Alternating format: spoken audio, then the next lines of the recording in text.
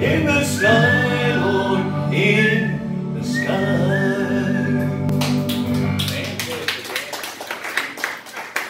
You know, I told uh, State Representative Kim Moser, Kim Moser, I gotta look up to her, Randy, because you know why? Her, her father was Dr. Floyd Moore. You know, I worked for him in Frankfort for a good while as Commissioner Motor Vehicle and Deputy Secretary of Transportation, so gotta look up to a little bit because of that, and then she's our state representative. But really gotta look up to her because her husband saved my life. He's a pulmonologist. You know, he walked in the room down there at the hospital. I was laying on the stretcher. Laying right on the stretcher. This doctor kept asking me, I was half out of it. He said, sir, I need to know, can I resuscitate your heart? He said, do you have a living will? I said, no, my wife's got power of attorney. He looked over at her and said, ma'am, can I resuscitate his heart? She said, can I get back to you on it? And, and that was a little bit. But she did say, okay, and uh, I looked up at him and I said, grabbed his hand, the doctor's hand, and I said, let me say a prayer to the Lord. I said the prayer to the Lord, I said, Lord, I'm ready to go home. If you're ready for me, if you want me to stay here and do more work, I'd be happy to do that too. I said, I've got a wonderful wife that needs me, it's a faith. And I said, but it's up to you, Lord, I'm ready if you're ready. And uh, I looked up at the doctor and I said, said to him, Everybody loves somebody sometime. Makes no difference when or where or how. Everybody loves somebody sometime.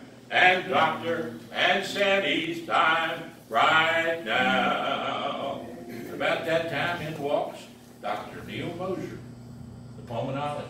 He looked at me and I just finished singing at his wife's fundraiser a few days earlier. And he said, John, I said, Doc, you better get in here and save me or your wife's going to lose a vote. and that was the truth. I did say that. And they did save me. I have a double blood clot over both lungs. And I think I'm the first patient that they had that that they ever brought back. Hmm. So with the Lord's help, I'm still here singing, here at the Rescue Mission in Fairhaven. A great place for help, a great lift up. And that's what this little verse is all about from my mother. And I'm going to read you now. Because this is a place that gives you a lift up. A lift up. My mom wrote this as a sophomore the old Crittenden High School in Grant County, Kentucky. And uh, my Uncle Don and Aunt Frederica Bingham gave it to me. It was in the Nine Star Literary Magazine. And it goes like this.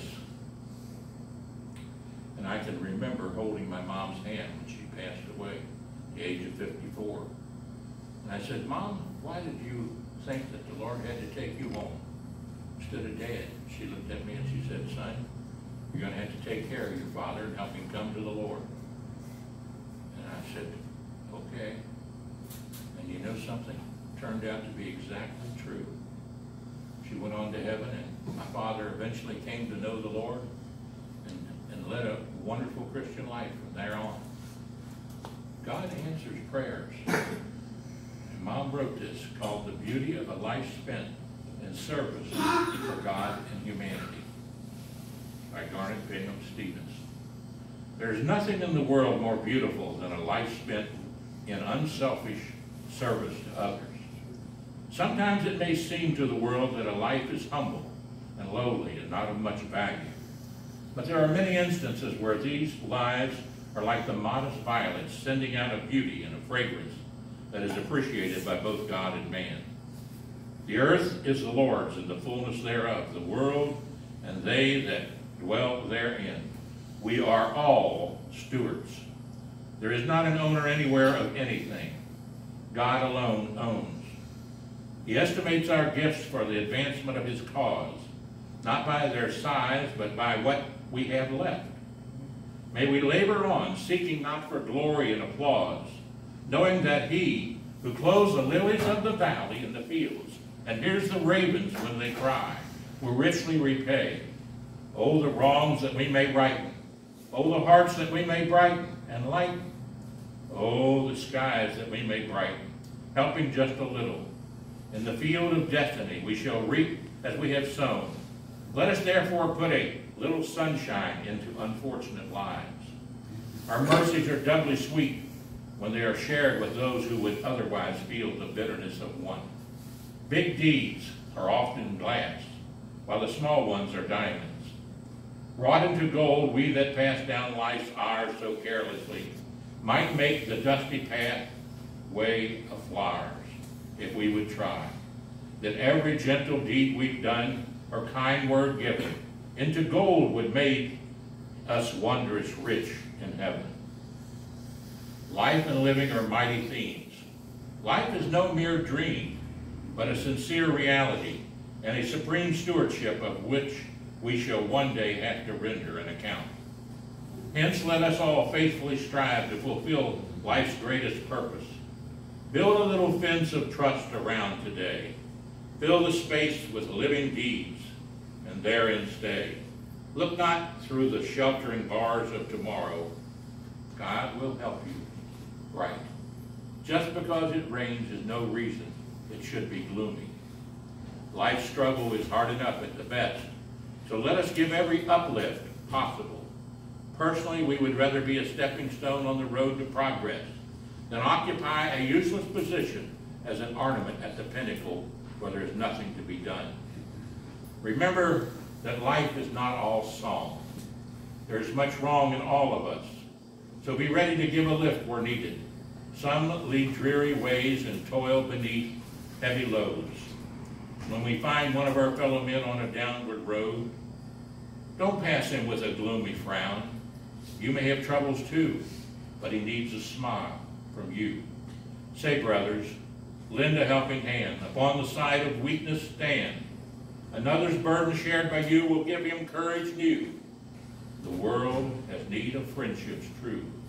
So give a lift, give a lift to your fellow man. That was my mother as a sophomore in high school. Pretty good, isn't it, fellas? She can think that way. And she was a little pianist in that little Baptist church, a Sunday school teacher. Even a Sunday school teacher, one of the ladies that goes to church where I am now, and she's in her nineties, Randy, and my mom was her Sunday school teacher. She tells stories about my mom. Did a lot of missionary work. Wonderful to have that. Randy, you got a little message you want to bring tonight too, or another song? Oh, God. Yeah, yeah, that, that, that's, uh, that, that blesses my heart to hear the things that you said. Uh, It was the Apostle Peter that said in Second Peter chapter one, verse thirteen, he said, I want to stir up within you these things that you need to remember. I want to remind you to remember. Somebody told me that the fastest thing, that the only thing that's faster than the speed of thoughts is the speed of forgetfulness. And when you think about that, that's right. We know, you know, so much. We in our country have the privilege of hearing the gospel everywhere we go. Sometimes we look at it, we think it'll really make a difference. It can. The Lord can make a difference in your life. If you don't know Him, I hope that you'll ask Him to be your Savior and Lord. If you do, I hope you get as close to Him as you can. Because you'll see that He'll help you not just in the hereafter, but in the here and now also. A fellow wrote this song a long time ago.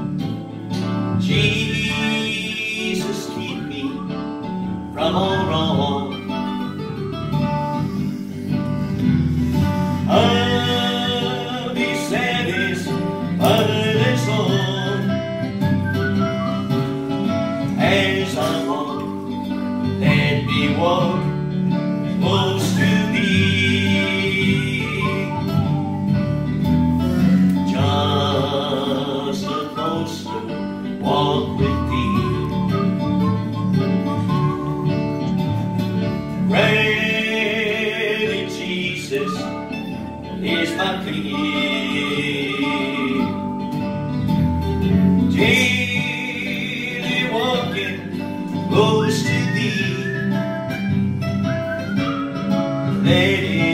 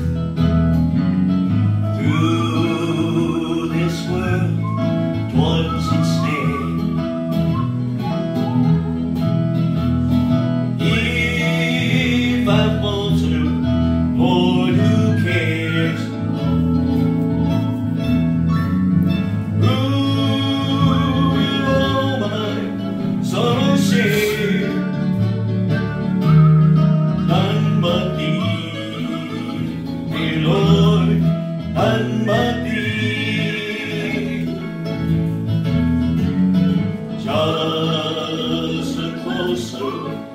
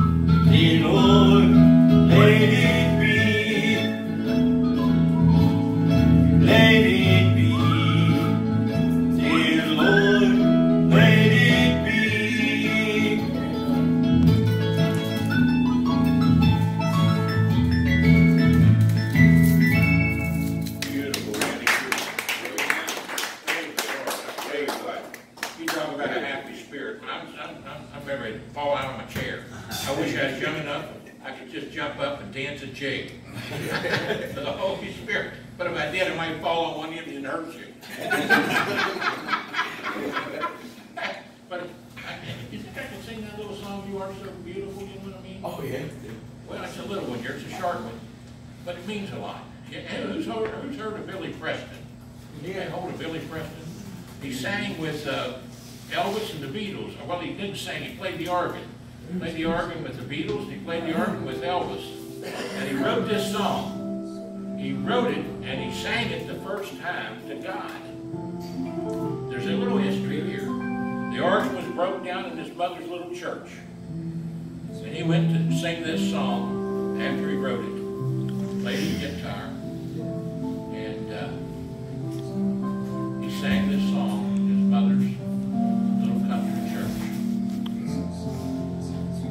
Then a fellow by the name of Joe Cocker came along, took the song, made it popular all over the world. All over the world as a love song. And I sang it to him many marriages. 14 marriages right out there at the courthouse not long ago on Valentine's Day. They asked me to come out and sing for all of them. But I told them this story about Billy Preston. Because you see something, any marriage that's put together needs three things. A man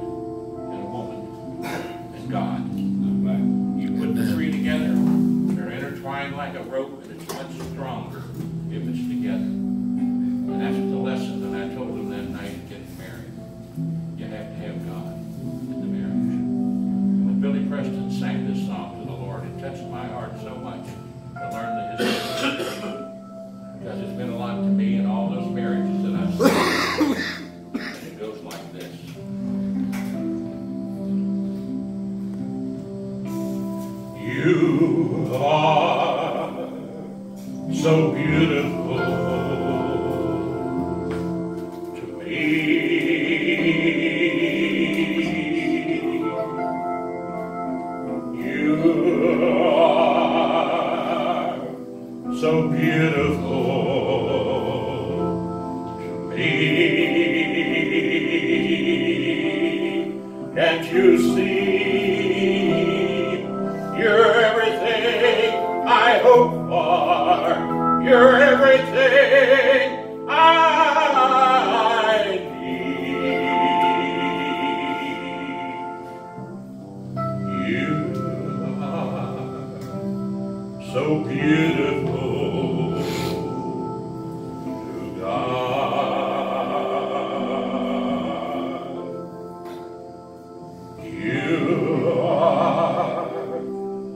so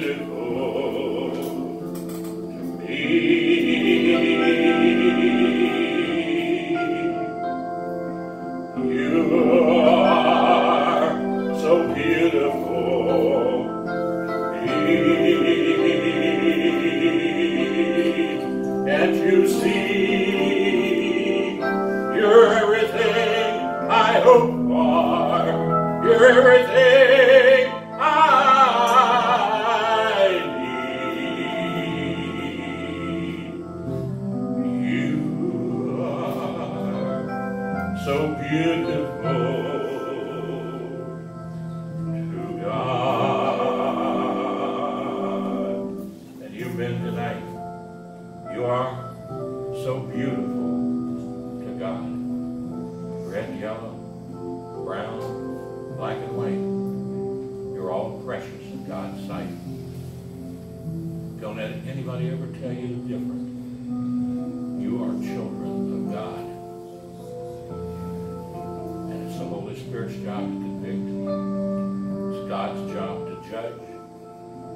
our job, mine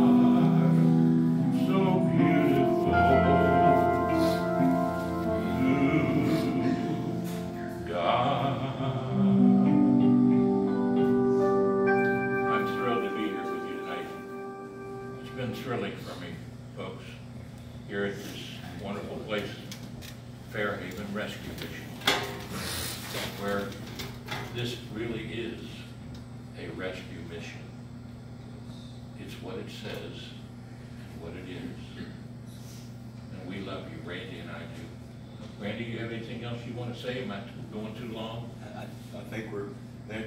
Do, do want to remind you fellas, if you'd like to speak to somebody more about the Lord, if you'd like to ask them in your heart, if you've never done that, we'd be glad to share that with you. The folks here would be. Anybody that you know to be a Christian would be thrilled to share that with you. Uh, if you just uh, want somebody to pray with you, we're more than glad to do that too. And it's been a great privilege to be with you. Will you bow with me for a word of prayer as we close out? Father, thank you so much for this time together. And Lord, thank you so much for being you. Thank you for helping us in, in many, many different ways, Lord. Thank you for helping my family just this past week, Lord, and helping Mom make the advancement that she's already made. And Lord, we just uh, give you the praise and the glory for good Christian friends. We give you the praise and the glory for the not yet believer friends.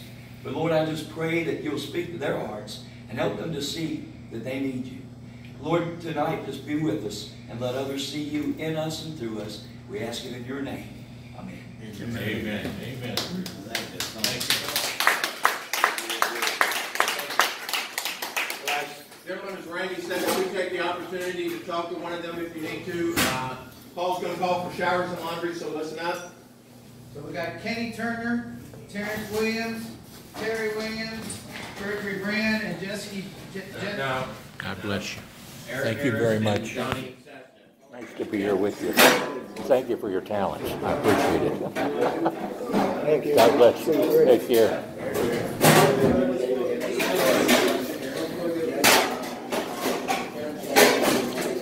God bless you. God bless you. God bless you. God bless you. you. God bless you, you. Oh, thank you, young man. I love you. You are so firm. Thank you. firm, but firm. Oh, thank you. All right. Appreciate it. Thank you.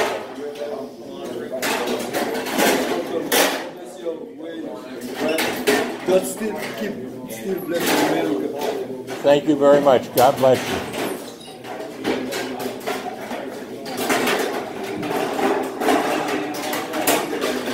Are you good? You need help out? If you Uh, I tell you what, I might need to get help getting up. Let me take this off here. Travels with the Stephensons. John Stephenson here. June Guyman Stephenson. Randy Wallace. Praise the Lord and pass the ammunition of godly principles. And uh, happy trails to you until we meet again. Happy trails to you. I'm glad that Fairhaven Rescue Mission is our friends. God bless you. 859 750 Watch us on Facebook, John Stephenson, or YouTube under Dr. John Stephenson Travels with the Stephensons. Amen. Go Trump and go Matt Bevin and Ralph Alvarado and the Republican ticket for God's principles.